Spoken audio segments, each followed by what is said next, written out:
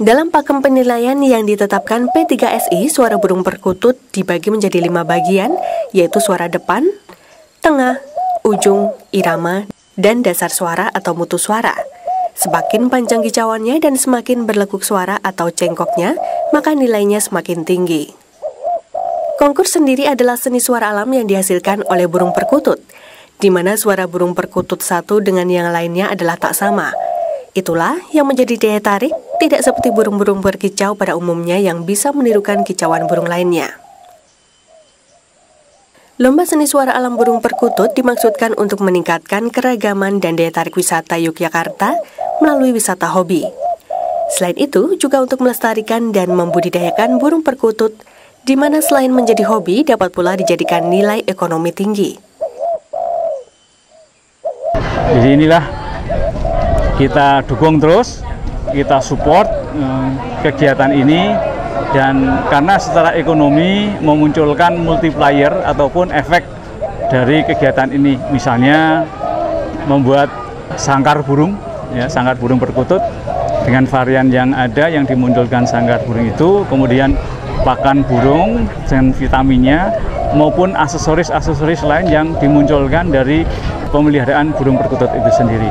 Jadi saya kira dampak wisatanya ada, dampak ekonominya pun juga ada, eh, tidak saja kepada eh, penggemar hobis burung perkutut itu sendiri, tapi juga eh, industri wisata pun menerima manfaatnya atau menerima limpahan dari kegiatan event ini.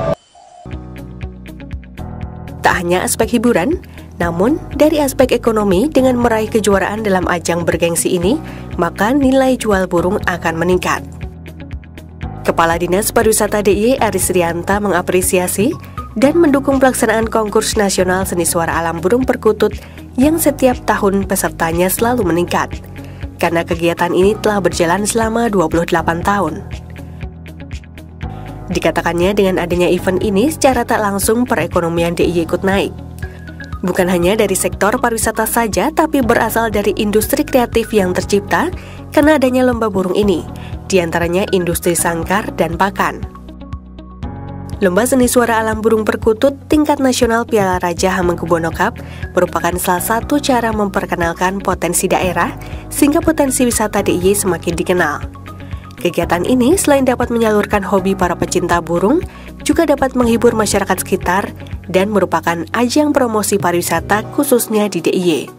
Saya mendukung beberapa lomba-lomba, baik itu seni suara burung perkutut, berkuku, berkisar, puter, kemudian juga burung berkicau, ya, dan lain sebagainya. Ini saya dorong itu kan yang utama dan pertama itu untuk ngerabuk nyawa. Jadi seneng, penghobi itu biar seneng dan dengan penghobi seneng itu dilenggarakan di Jogja. Jogja itu kan tempatnya di tengah kalau di Jawa. Nah, itu orang itu akan cenderung banyak yang datang lebih banyak. Nah, sehingga di sini menciptakan suatu situasi khususnya untuk pariwisata. Jadi hotel di mana-mana penuh karena pesertanya kan banyak sekali. Ya apalagi burung berkicau itu sampai ribuan, lima ribu lebih.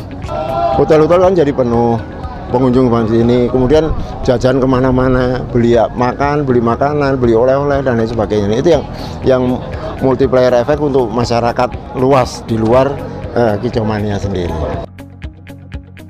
Tahun ini, perkutut dengan nama Karya Agung milik Raihan dari Banjarmasin, Kalimantan Selatan menjadi juara kelas dewasa senior dan berhak mendapatkan Piala Raja HB10 2017.